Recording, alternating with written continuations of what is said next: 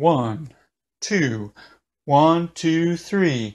Solutes in the plasma may be lost in the urine. They're governed by a formula that's well worth learning. Three different processes control what you're releasing. Filtration plus secretion minus reabsorption is excretion.